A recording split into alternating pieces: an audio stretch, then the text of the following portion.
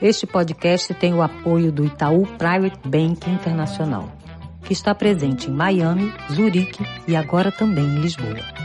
Se Calhar é uma série de podcasts sobre brasileiros em Portugal. Criação e apresentação, Paulo Marcum.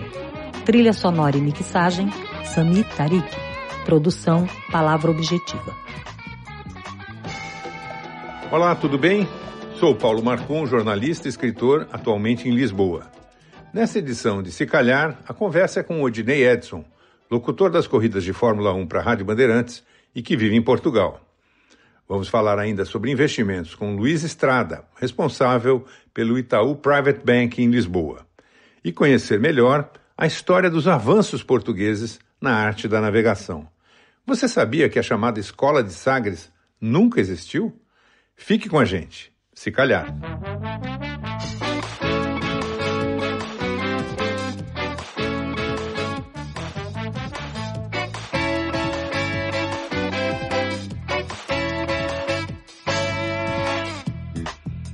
População portuguesa está envelhecendo e diminuindo. Dados do Instituto Nacional de Estatística mostram que, entre 2017 e 2018, a população com menos de 15 anos de idade diminuiu e a com idade igual ou superior a 65 anos aumentou. O chamado saldo natural negativo se agravou. Foi de menos 23.432 pessoas em 2017 para menos 25.980 pessoas em 2018. O decréscimo populacional só não foi maior por causa do saldo migratório crescente. Em 2017, migraram para cá pouco menos de 5 mil pessoas, 4.886 exatamente. Em 2018, 11.570 pessoas, ou seja, quase três vezes mais. Em 2020, Portugal atingiu um novo recorde histórico são 707.848 imigrantes residentes regularizados, o equivalente a 7% da população de cerca de 10 milhões de habitantes. A alta foi de 19,9% em relação a 2019, que já tinha tido também um crescimento expressivo. Os brasileiros são a maior colônia, algo em torno de 250 mil pessoas, somando-se os imigrantes ilegais, os legais e aqueles que vivem aqui por terem cidadania de outros países europeus. Há uma terceira onda de imigração brasileira nesse momento. A primeira aconteceu nas décadas de 80 e 90 do século passado, marcada por profissionais qualificados, como dentistas e publicitários, entre outros, vindos do Rio de Janeiro, São Paulo, Rio Grande do Sul e Pernambuco, principalmente. A segunda leva veio de Minas, Paraná, Espírito Santo, São Paulo e Goiás e era, em sua maioria, de pessoas sem maior qualificação profissional. A terceira onda é mais recente e tem também estudantes e jovens no auge da força de trabalho, mas conta com aposentados em busca de um lugar mais seguro e com maior qualidade de vida para viver essa fase. O atual governo português de centro-esquerda tem uma política mais receptiva à imigração e que parte da premissa de que o país precisa rejuvenescer sua população e reverter o processo que pode culminar no despovoamento. Em plena pandemia, o governo regularizou a situação de permanência no país de todos os imigrantes que tinham registrado pedido de residência junto ao Serviço de Estrangeiros e Fronteiras.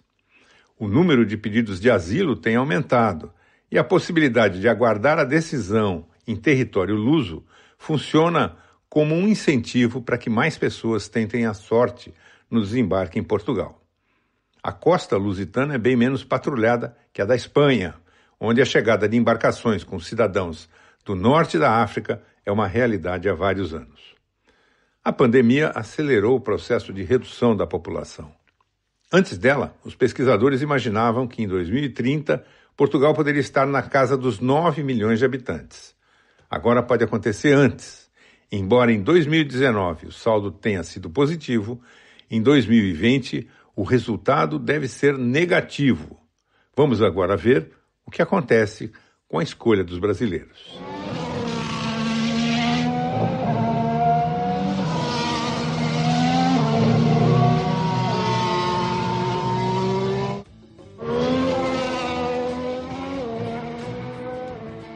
Nosso convidado do Se Calhar é um viajante conto mais por conta do seu ofício. Narrar as corridas do Circuito Mundial de Fórmula 1 para a Rádio Bandeirantes. Paulista de Oswaldo Cruz, perto de Marília, Odinei Edson é de uma família de locutores, irmão de Oscar Ulisses e de Osmar Santos.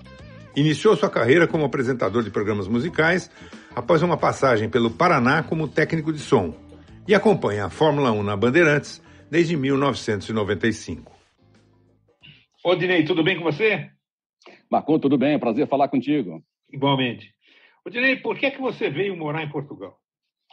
Olha, Marcon, eu vim morar em Portugal por um objetivo dos meus filhos. Faz sete para oito anos que estou aqui em Portugal. Então, eles estavam numa idade ainda que era possível trazer debaixo do braço, nove anos, dez anos aproximadamente. E, e, e resolvi trazer eles para uma cultura nova, para uma formação diferente, conhecer um pouco o mercado. Sabia que se demorasse um pouco mais, entrariam numa adolescência e seria muito difícil é, claro. você tirar as raízes deles. E acho que fiz bem. Tá, tá, o resultado pelos filhos está muito positivo. Eles gostaram? Muito. Não querem nem passar férias no Brasil mais. Eles estão numa fase realmente enraizados com a cultura daqui, com a formação. O mais velho está indo agora, vai fazer universidade na Inglaterra. O Sim. outro tem mais dois anos de high school aqui ainda. É, mas estão muito felizes, muito felizes com essa, com essa convivência que, que, que, conseguiram e o relacionamento que tem por aqui. E como é que foi a transferência da carreira profissional? Então, eu dei muita sorte, Marco, porque é, eu estou fazendo Fórmula 1 já Sim. há muito tempo, só as transmissões de Fórmula 1 para o rádio, que é um veículo que me encanta, né? mexer com a imaginação das pessoas, eu acho que é uma, é, é, é muito prazeroso e, e esse veículo, para mim, pela sua portabilidade, pelo seu acesso fácil e essa te permite errar mais. E eu, eu erro muito, então eu, eu, eu me sinto mais feliz lá. Sim. É muito, muito gostoso por isso. Então, é, essas transmissões, a tecnologia me favoreceu fazer de qualquer ponto do mundo. Né? Não tinha, eu fiquei mais ou menos uns 12 anos da minha vida lá atrás, desde 1995, 93 93 eu estava na Eldorado, 95 foi para o Grupo Bandeirantes de Rádio, e eu fiz por uns 12 anos todas as corridas ao vivo, em loco, como a gente fala, é, viajando muito. Então já estava num ponto de desgaste é, físico dessas viagens todas, e aí entrou a internet com um recurso extraordinário que me dava tudo aquilo que eu necessitava para poder viabilizar o, o meu trabalho. E quando é, essa, essa possibilidade foi além disso, de eu não ter a necessidade de estar nem no Brasil e nem no local do evento, e, e não perdendo o conteúdo mesmo assim, me fez vir para cá de uma forma muito mais tranquila. Então, eu continuo fazendo isso. Entendi. E aqui você não chegou a exercer atividade televisiva ou radiofônica em Portugal, para Portugal? Não, participei de alguns programas da Sport TV, dos amigos, mas mais por relação, fui convidado, enfim. É mas não tive nenhum movimento para poder viabilizar recursos, ganhar dinheiro. Aliás, Marco, é, alguns brasileiros, alguns amigos, né? Poxa, como é que é a vida em Portugal? O que, que você fez de melhor em Portugal? Sim. E eu falei, olha, a melhor coisa que eu fiz em Portugal foi não ter feito nada. É, é, em termos de business, em termos de negócio. Entendi. Porque a cultura é muito diferente daquilo que a gente conhece do Brasil. Parece, parece ser muito igual, parece ser muito similar. Mas, é, mas... Só a língua é parecida, o resto é tudo Exatamente. diferente. E você foi bem, parecida. Tem muitas coisas é. que, que, que, que, são diferentes ainda. E, e, este ano a Fórmula 1 está na Band, inclusive a, a televisão, né? Isso melhora para você? piora. Ah, é?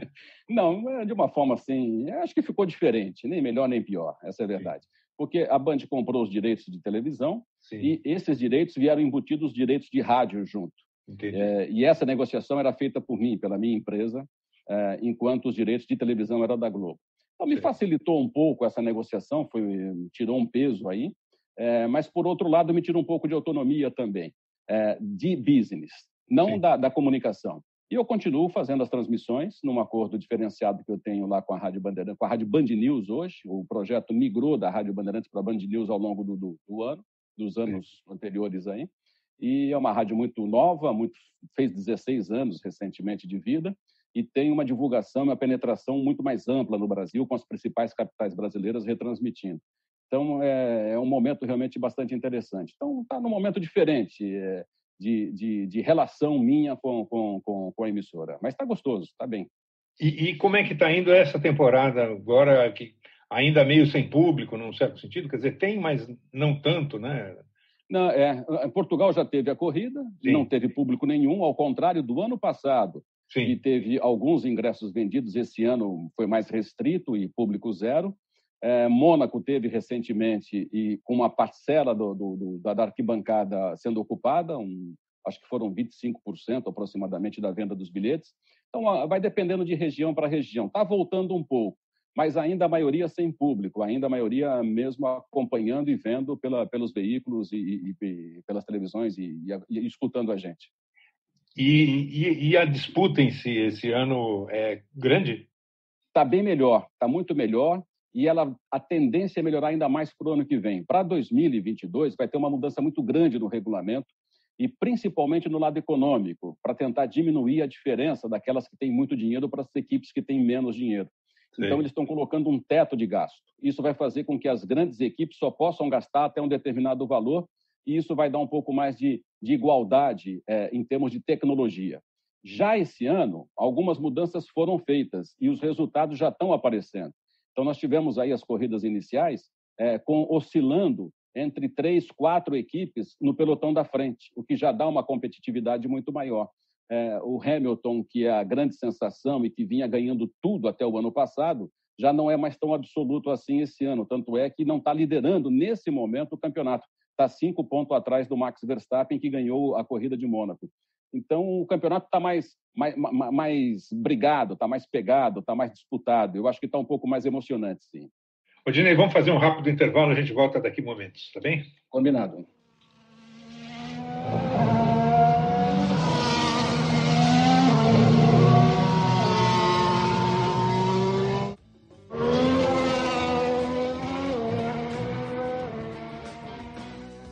Luiz Estrada é o responsável pela operação do Itaú Private Bank em Portugal. É com ele que vamos conhecer um pouco mais do mundo do investimento no exterior. Olá, Luiz, tudo bem? Tudo bem, Paulo? Tudo tranquilo. Queria começar a nossa conversa aí sobre um tema que interessa muita gente que vem é, para o exterior, no caso de Portugal, que é o residente não habitual. O que, é que essa condição determina? O residente não habitual, na verdade, ele é uma condição fiscal, Paulo, tá? Ele difere um pouco da questão toda relativa a visto, residências, etc. Tá? É, no caso do residente não habitual em Portugal, foi uma política implementada para, de alguma forma, tentar atrair é, nove, é, pessoas que tivessem interesse em residir em Portugal é, e que fossem pessoas com patrimônios interessantes e que pudessem vir residir em Portugal e dessa forma Portugal poderia é, é, tributá-los de uma forma um pouco mais benéfica para essas pessoas, tá, Paulo? É, eu acho que a parte importante aqui é ele não é só para estrangeiros, tá? Um português que eh, ficou fora de Portugal e não contribuiu aqui em Portugal durante cinco anos, ele também está apto, tá? Quando ele vem residir em Portugal novamente, tá bem? Vou dar um exemplo: retimentos de trabalho é, aqui dentro de Portugal, é, eles têm uma alíquota beneficiada que é de 20%, tá bem, Paulo? Ao invés da tabela tradicional que pode chegar a 40%, 45%, tá bem? É, e, por outro lado, e aí acho que é o que é interessante aqui para os investidores que acabam vindo morar aqui em Portugal, é que para os seus ativos fora de Portugal, os investimentos que eles têm fora de Portugal, se Portugal tiver um acordo de tributação com, com, com esse país onde ele detém os investimentos, né, é, ele tem realmente alguns benefícios muito interessantes, sendo que a maioria deles é uma isenção perante o, o, a tributação já aplicada nesses países, tá, Paulo? E o Brasil é, tem, né? E o Brasil tem, exatamente. E aí, por isso que, é, na verdade, a maioria dos brasileiros que vêm residir aqui um dos interesses é essa questão do residente não habitual, entendeu? O Brasil tem um acordo de bitributação é, com Portugal, e aí, se, o, se, se, se esse investidor que está residente agora em Portugal tiver investimentos no Brasil, é, a tributação oferida no Brasil tá, é, é retida na fonte, já é o bastante para o governo português, vamos dizer assim. No caso, vou dar exemplos, tá, Paulo, aqui. No caso de dividendos é no Brasil. Hoje a alíquota de dividendos no Brasil é zero. Né? Então, um, um investidor que tem uma ação brasileira é, é, é, e recebe um dividendo, ele não tem um, uma taxação ali, dado que a alíquota no Brasil é zero. Aqui em Portugal, no momento que ele declarar esse rendimento aqui em Portugal, para ele também vai ser zero, tá, Paulo? Por Sim. conta desse acordo de bitributação. Ele deixa é, de ter necessidade de tributar aqui em Portugal. Isso serve para a grande maioria dos ativos, tá, de investimentos, quando a gente está falando entre Brasil e Portugal, tá bem? É, e acho que um ponto importante é a questão das aposentadorias, né? Que as pessoas é, é, que vêm para Portugal e viram residentes no habitual, até o ano passado, é, eles eram tributados a zero aqui em Portugal, tá, Paulo? Mas por conta Sim. de uma discussão que houve durante um bom tempo com, com a União Europeia, com demais países, Portugal mudou essa alíquota e passou a ser 10%, tá? Então, a partir da, do, do início do ano passado, o, o, aposentado que viesse morar aqui em Portugal, ele seria tributado em 10% aqui pelo fisco português, tá bem? É, então, acho que essa é um pouco a dinâmica. Paulo tem vários pormenores, obviamente, em relação ao residente não habitual, mas a, a situação macro é um pouco essa, tá? Resumindo, quer dizer, para no caso dos aposentados, os que vierem ou depois dessa decisão podem ainda se beneficiar da condição de residente não habitual. Sim, sem dúvida. Podem se beneficiar. Se tiverem investimentos fora de Portugal, vão ter os mesmos benefícios, mas aquela, o valor de rendimento via aposentadoria, que antes era tributado a zero, agora é tributado a 10%. Mas é. para o restante todo, funciona igual, Paulo. Maravilha. Luiz, muito obrigado. Ficamos por aqui. A gente volta a conversar na próxima oportunidade, ok? Ok. Obrigado, Paulo. Obrigado você. Um abraço.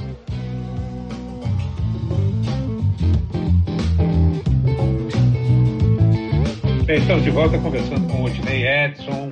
Voltando para viver em Portugal, do que é que você sente falta aqui das coisas do Brasil? A relação com os amigos no dia a dia, aquele improviso brasileiro é, que a gente tem na raiz, muito forte, é, de marcar no mesmo dia, na mesma hora, para se encontrar no restaurante, chega lá, tem aquela fila imensa, mas você espera um pouco, toma um chopp, espera a tua vez de sentar na mesa. Aqui, aqui é tudo mais programado, aqui é tudo mais antecipado, mais certinho. Eu sinto um pouco falta disso. Mas não tenho lá grandes eh, questões assim de, de, de, de emoção, né? É, a feijoadinha brasileira a gente sempre gosta, mas aqui tem alguns pontos aí que te supre, não com a mesma qualidade ou não com, com o mesmo jeitão brasileiro. Mas tem tudo já, está muito globalizado tudo, né, Marco? Então, Sim. É e o que que você emocional mesmo dos irmãos, da família, enfim. Claro. E o que é que você, vamos dizer assim, conquistou aqui que que o Brasil não tem e que é a marca registrada, digamos, de viver Olha, aqui? É, essa relação, é, eu acho que aqui a relação é mais respeitosa, sabe? Acho que as pessoas são mais diretas, objetivas, e isso assusta um pouco a gente no momento Sim. que, ah, estão sendo mal educados. Não são. Não é a questão de educação, é uma questão de objetividade. Né? Você vai na farmácia, você tem que tirar senha. Você vai no supermercado, dentro do supermercado, para os setores do supermercado, você sabe bem, você tem que tirar senha. Sim. Então, existe um respeito um ao outro. Eu acho que aqui isso aqui é uma conquista e, e, um, e, um, e uma, uma questão que nos, é, de uma forma ou de outra, deixa o, o ser humano um pouco mais confiante no próximo. Ou seja, você se sente mais respeitado e, consequentemente, você respeita mais também. Entendi. É, eu, eu me lembro uma, uma, pequena, uma rápida lembrança, a primeira vez que eu fui aqui comprar peixe no supermercado, Sim. tinha escrito lá um, um, uma placa assim, peixe amanhado e peixe não amanhado. E eu, uhum. você deve saber já, mas eu não sabia o que, que era uma coisa e outra. E uhum. entendi erradamente que amanhado era amanhecido. Falei, bom, eu quero não, eu quero peixe fresco. Aí peguei, na, na, minha vez, a senha do não amanhado, que por uhum. coincidência era menor a fila, Uhum. E aí pedi ao, ao, atendente lá, falei, amigo, por favor, o senhor pode preparar esse peixe para eu levar? Ele falou, não, senhor, o senhor tem que pegar outra senha, porque esse, é. o senhor quer o peixe amanhado, esse aqui é o não amanhado. e é tudo muito certinho, né? Exatamente. É, e a gente às vezes acha que com o jeitinho brasileiro dá volta nisso, mas não dá não. Né? Não, não tem jeito. Tem que ser do jeito deles e eu acho que isso é bom. Claro. É, Aliás, você... esse é um problema dos brasileiros, né? Que é muito, e o chinês também sofre muito aqui, porque o chinês quer implantar a cultura dele no local que ele está. Então eles vivem em bandos, sabe? Eles vivem isoladamente num determinado local ou sítio, como eles falam aqui, porque eles não conseguem é, entrar na cultura do país. Claro. O brasileiro às vezes sofre um pouco com isso, quer trazer a cultura do Brasil para cá e sofre muito quando, quando, quando tenta fazer isso. Tem toda a razão. Você sempre fez rádio? Sempre fiz rádio, Marco, sempre. Desde os meus 15 anos de idade, sempre. Como é que você foi nessa... parar lá? Tem a ver com os seus irmãos que. Tem muito a ver com Osmar, o Osmar Santos, que, tá, é. que puxou o, o, o, pelotão. Nós somos quatro irmãos. Eu brinco Sim. que um deu certo na vida, que foi para a área financeira. Os outros três entraram nessa, nessa onda de rádio. Tem o Oscar, que está na rádio Sim. CBN Globo até hoje, é o locutor principal de futebol lá. O Osmar, que sofreu o acidente já em 94, mas, Sim. enfim, os, os, mais antigos aí devem lembrar dele. É, e, e, e, eu que estou na, na, na, na, Bandeirantes já há 25 anos no grupo Band de Rádio, e já passei por Rádio Globo, Rádio Record, Rádio Gazeta, Rádio Eldorado. Então eu trilho nessa, nesse caminho há muito tempo. Comecei lá no Paraná, quando eu morava lá no Paraná, em Cruzeiro do Oeste, como operador de som, depois fui voltei para Marília e desenvolvi reportagens, passei por Campinas e e, e comecei a treinar locução até cair na, na, na, na, Rádio Globo por conta do meu irmão e, e, e lá convivi bastante tempo com ele e, e aí desgarrei e fui para esse segmento de automobilismo e estou aí até hoje. Entendi. Já anunciaram uma porção de vezes o fim da rádio, né? A rádio uhum. já ia morrer por causa da televisão, depois por causa da internet, por isso, por aquilo. Continua vivo, livre, leve e solto vai bem. Porque o rádio, eu acho que ele é muito é, é, democrático. Eu acho que ele convive bem com todos os outros meios, né? Então, você pega a internet hoje, que é o ponto mais forte, o rádio está dentro da internet.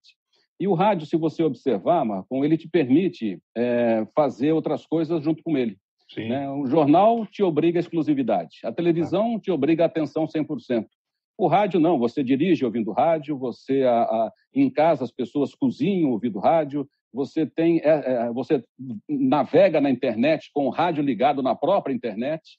Sim. Então ele é muito democrático. Acho que ele tem essa sobrevivência. Mas hoje eu, eu já consigo enxergar um outro ponto muito é, decisivo na sequência do rádio, como ele é hoje para a sua é. sobrevida. Né? No Brasil, principalmente, que vive muito forte com radiojornalismo.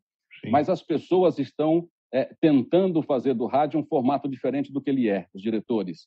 E isso está fazendo com que o rádio ou mude de uma forma muito radical para melhor, eu não consigo enxergar, ou aí sim vai ter uma sensibilidade mais forte dele se manter. Você fala no sentido de, de, de, incorporar a imagem, por exemplo? Exatamente. Eu acho que é forçar demais a, a, a questão, sabe, de obrigar o rádio a ser é, dentro do. Uma se televisão de for... pobre, né? É. Se aquilo for um complemento, tá sim. tá bom, vá lá. Mas está chegando num ponto em que a imagem, para quem está fazendo e não está percebendo, está ficando mais importante do que o áudio.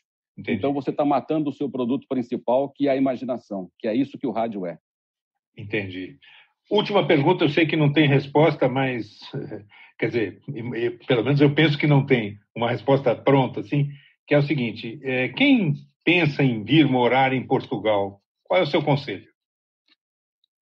Que reflita muito, que realmente não fique só no sonho de que eu vou para uma vida melhor, né? É, eu acho que não só para Portugal, mas para qualquer lugar, ou mudança dentro do próprio Brasil, né? as pessoas precisam olhar para dentro. Se conseguir se enxergar por dentro e se sentir bem, consequentemente vai se sentir bem em, outro, em, em qualquer lugar do, do, do planeta. Agora, para vir para Portugal, eu acho que precisa, ou para qualquer outra região, fazer um planejamento econômico muito forte. Se você tiver a economia, ou seja, você vive bem com dinheiro em qualquer lugar do mundo, né? Claro. mas desde que tenha o dinheiro. E, e, e, se você tiver essa oportunidade de querer é, conhecer, ter novas experiências e esse problema econômico teu está resolvido, eu acho que vale a pena. Agora, vir para cá para construir economicamente a sua vida também, eu acho que isso tem que ser muito estudado, isso tem que ser muito responsável e tem que ter é, já uma, um, um, negócio definido que vai ser feito, em que condições e planejado para não correr risco claro. de se decepcionar. Afinal de contas, a rede de proteção é menor aqui porque a gente não tem os, os amigos, a família, né? a intimidade com, com o meio. Né? É, você fica mais isolado, você depende mais de você mesmo. Né? Então, você tem que estar melhor com você mesmo para você até proteger os poucos que estão ao seu lado. Né? Tá certo. Odinei, muito obrigado pela sua entrevista, um grande abraço e até a próxima.